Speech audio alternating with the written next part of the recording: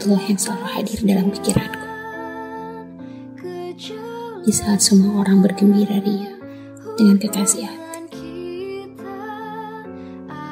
Di sini pula aku yang termenung sendiri. Kapan? Kapan? Dan kapan?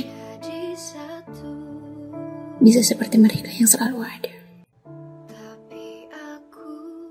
Yang jelas, aku selalu menunggu. Entah esok atau lusa. Yang kuharapkan, datangmu menjemputku menuju suatu ikatan yang suci. Tak ada sedikit pun niat hati untuk mencari pelampiasan. Di saat aku sendiri.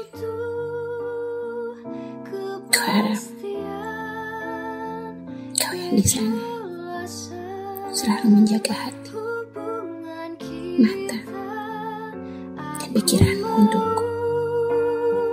Semestinya kau dan aku jadi satu.